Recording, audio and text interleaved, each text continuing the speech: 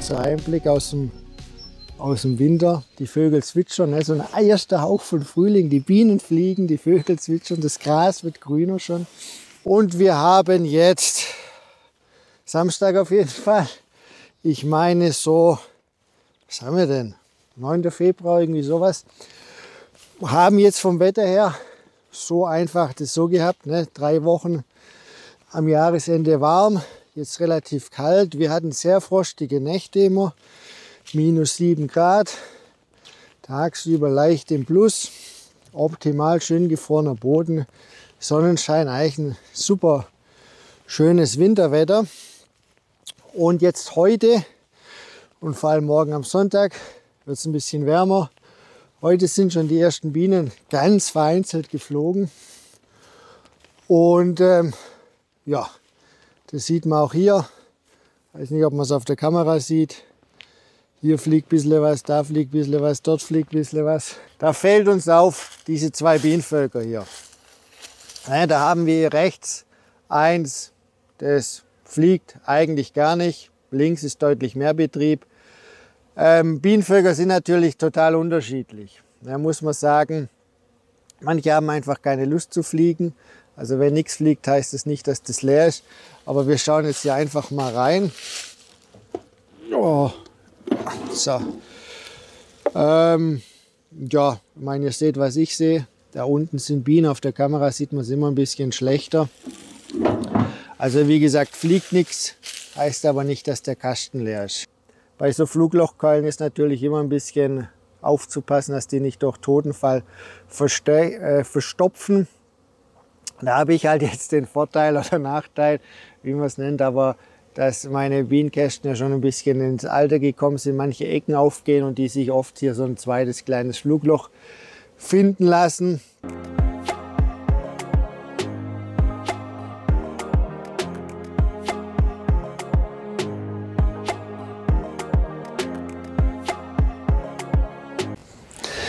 Ja, herzlich willkommen wieder zum neuen Video. Ich bin Sebastian und wo stehen wir? Wir stehen vor unserer Imkerei Goldblüte.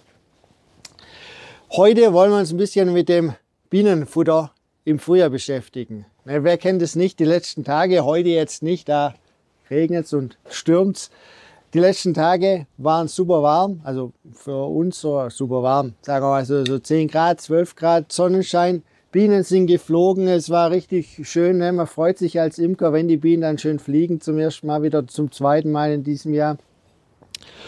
Und ähm, da gilt es halt aufzupassen, ne? weil klar ist, die Bienenvögel können immer noch verhungern. Das blüht in der Natur noch nicht so, dass sie einen nennenswerten Nektareintrag haben.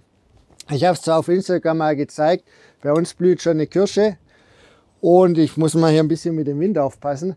Aber das ist ja jetzt nicht so, dass die Bienen das nutzen können und da Nektar sammeln und äh, ihre Vorräte anlegen. Da sind wir ja schon noch ein bisschen weit davon entfernt, ein paar Wochen. Nach Möglichkeit schaue ich rein. Und warum schaue ich rein und hebe nicht nur an, sondern weil ich auch wissen will, wo ist das Futter. Das Futter soll ja da sein, wo die Biene sitzt und nicht auf der anderen Seite vom Kasten, jetzt übertrieben gesagt. Und das merke ich halt beim Anheben nicht, das merke ich nur, wenn ich reinschaue. Das stört die Bienenvölker nicht. Machen wir bei schönem Wetter, zack, zack, fertig, reingeschaut, kontrolliert, alles ist gut. So, jetzt schauen wir aber. Schön nutzen wir die Regenpause und flitzen zum Bienenvolk da nach hinten. Da steht so irgendwas drauf, irgendwas, wo drauf steht. Oh, also ist aber eine kleine, kleine Kugel. Kommt mal her, wir wollen uns da nicht lang aufhalten bei dem Wetter. Äh, kleine Kugel haben wir hier. Hier ist der Sheet. Biene, Futterwabe, da sehe ich, da ist Futter drin. Ähm, hier schon keins mehr drin. Also ist auf jeden Fall was, da müssen wir füttern. Ich will nicht übers Wetter klagen, aber es, für die Bienen zieht sich einfach dahin. Ne, das ist, äh, wenn ihr so seht hier um mich rum, es blüht alles mittlerweile. Die Kirsche, glaube jetzt in der dritten Woche, die ist jetzt langsam durch. Die Birne blüht seit einer Woche, die Äpfel fangen jetzt an. Die Bienenvölker, ähm, stehen zum Teil echt Bombe da, fünf, sechs Waben Brut voll und Moment, ihr seht es im Hintergrund, zum Teil ohne Honigraum. Ne? Ein bisschen ein befremdliches Bild, Aber diesen Weg gehe ich dieses Jahr einfach mal, dass ich mir gesagt habe, die bringen jetzt nur diese zwei Tage schön und dann bringen sie schon wieder schlechtes Wetter. Wir lassen mal die Honigräume noch weg. Die werden wahrscheinlich sowieso nichts bringen, weil eben dieser Nektareintrag nicht da ist. Ganz im Gegenteil, ich bin eigentlich jetzt seit drei, vier Wochen dabei, den Bienen eigentlich jede Woche wieder ein Stück Futter zu geben, ähm, weil die einfach unheimlich knapp sind. Ne? Kein Mangel, aber sie sind knapp, sie brauchen das Futter. Man sieht es auch, ähm, es ist weg und äh, ja, Reserven sind relativ wenig. Warum mache ich das in so kleinen Gaben? Also ich mache das ja so, ich laufe da durch mit meinem Kanister. Oh, Telefon. Unpassender Moment. Ähm, ich laufe da durch mit meinem Kanister. Habe ja das ganze Jahr den Nicofytro drauf. Gott sei Dank. Ne, macht die Sache einfach leichter. Ähm, und gebe denen so einen Schucker rein. Ne. Das mögen so 500 Gramm, 600 Gramm, 400 Gramm, was auch immer sein.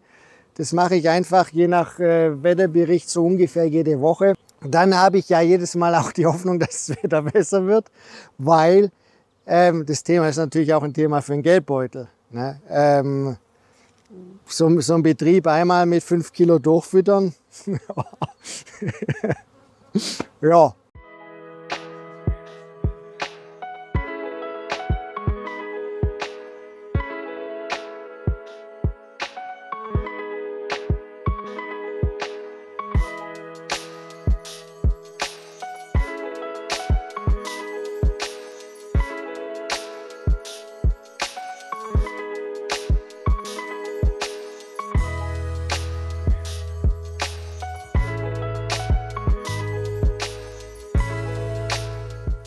Fehler. Und dann kommt halt sowas raus, wie ich euch ähm, noch gezeigt habe oder, oder gleich zeige. Weiß nicht, wie ich, warum ich das Video schneide. Draußen mit diesen Kästen, wo ich auf äh, Kunsho rumgebaut habe. Da nimmst du halt die Handkreissäge oder die Kettensäge oder was weiß ich. Aber jetzt so in dieser Kombination, in dieser Ecke jetzt hier, da kann die eigentlich ganz gut stehen. Man kann die auch ähm, relativ einfach verrutschen. Und ähm, da macht es gleich doppelt so viel Spaß, vor allem wenn jetzt auch die kalte Jahreszeit kommt. Ihr seht es da hinten, haben wir ein Radio und dann nimmt man noch einen Kaffee mit und dann ist die Welt doch in Ordnung.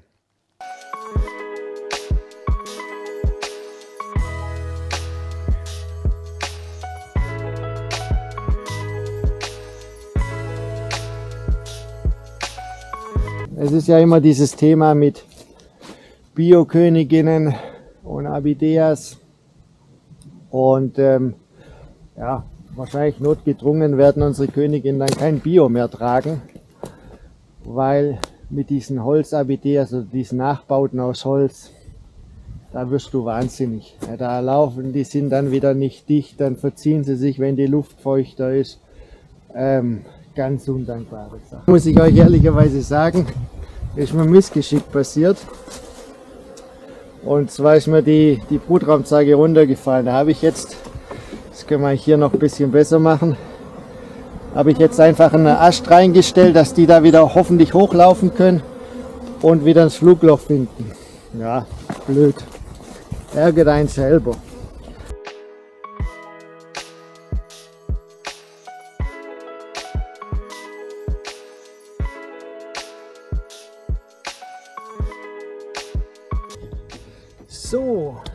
Da sind wir. Gucken wir mal, gehen wir mal rein, gucken mal, wo der Michael ist.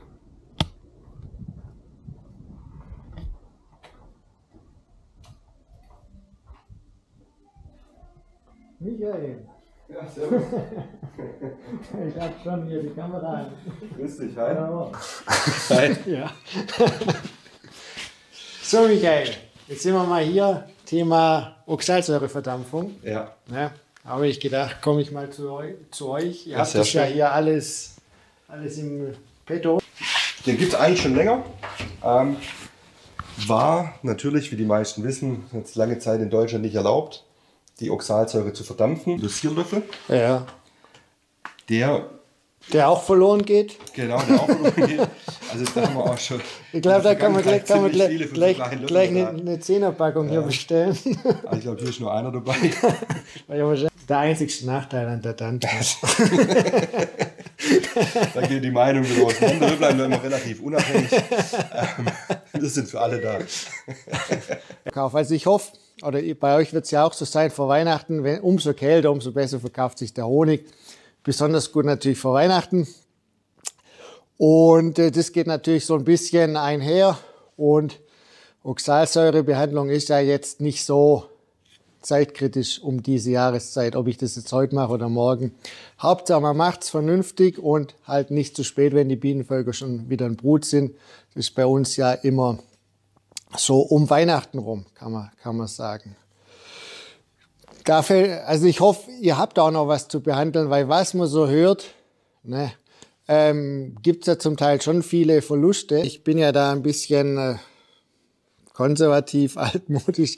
In der Regel arbeite ich nicht mit, mit zwei Leichten pro, pro Starter, sondern ich mache ja relativ starke Starter und ich nehme eine Leichte in der Regel, weil ich einfach, ich kann es euch nicht beweisen, weil ich die Larven nicht wiege, die fertigen Königinnen nicht wiege, aber einfach der Meinung bin, dass ähm, hier halt schon äh, viel Qualität verloren geht, wenn ich hier, klar kann ich hier auch, auch 60, 70 äh, Zellen anziehen lassen, aber da bin ich jetzt persönlich der Meinung, dass da halt schon Qualität verloren geht von der zukünftigen Königin. Vielleicht lauf sogar noch mal nach ähm, und dann machst du die kaputt, weil die hier verklemmen beim Rausmachen. Also finde ich gar nicht zu gebrauchen, muss ich ehrlich sagen. Ne?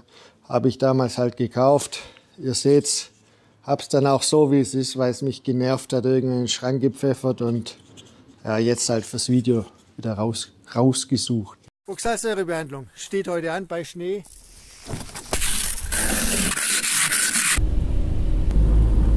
Wir behandeln die Bienenvölker nochmal. Ich träufel das hier oben drauf. Gibt es auch andere Methoden.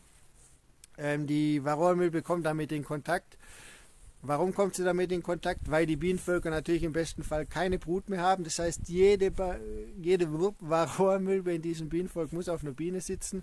Dann komme ich mit meiner Oxalsäure, meinem Varomet oder wie auch immer die Medikamente letztendlich heißen, träufelt es drauf. Durch den Zucker in der Mischung bleibt es an der Biene kleben. In der Wintertraube wird das verteilt von den Bienen durch Putzen, durch andere Sachen. Die Varroamilbe wird auch getroffen. Zack, stirbt, fällt runter, ist weg fertig. Oxuvar, in dem Fall jetzt bei mir dieses Jahr, das Mittel der Wahl und eine Spritze. So, und jetzt gehe ich einfach da, wo der Bienensitz ist, zweimal so hin, hier noch, zack, zack, zack, zack, auf dem Weg zum Bienenstand, weil ich bin jetzt endlich, endlich mal fertig mit der Oxalsäurebehandlung. Das war bei mir dieses Jahr etwas langwieriger, immer kam was dazwischen, immer schiebst dann noch ein bisschen, was anderes ist wichtig. Dann hat man ja auch unheimlich viel Regen, du willst ja, oder ich will nicht im größten Geschütte an die, an die Bienen, dann regnet es oben noch rein. Wäre jetzt ein Vorteil für, für die Verdampfung, ne? hat man ja in dem Video.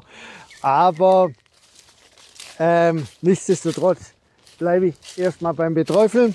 Auf jeden Fall ähm, nicht so widerstandsfähig, ne, umso kleiner die Biene ist. Deshalb ist es ja ganz gut, wenn wir die Waben ausschmelzen. Die Biene baut wieder eine neuere, da schlüpft wieder eine, eine größere Biene raus. Dann spielt natürlich dieses ganze Thema Rückstände auch bei sowas eine Rolle. Ne, wenn das jetzt, sagen wir mal, bei mir so eine Brutraumwabe zwei, drei Jahre alt ist, da kann sich natürlich auch irgendwelches Pflanzenzeug oder sonstiger Misch drin anreichern. Ne, wollen wir auch nicht.